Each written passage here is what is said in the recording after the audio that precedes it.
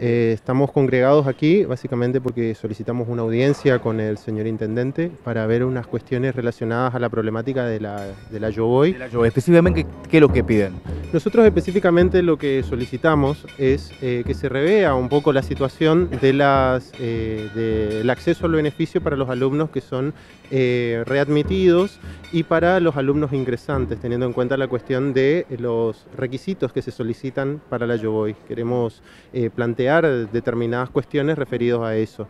También aprovechamos la oportunidad también para solicitar la necesidad que se manifiesta dentro de la, de la universidad, básicamente de eh, instalar un punto de recarga de del boleto estudiantil para los alumnos que eh, pertenecen al campus Cabral, donde funcionan las facultades de veterinaria, de agronomía y el edificio de las carreras de comunicación social, relaciones laborales y turismo. ¿Usted cree que, eh, así como están las estaciones donde se recargan, que son insuficientes para ustedes que son estudiantes y te traslada la mayor cantidad allí en el campus?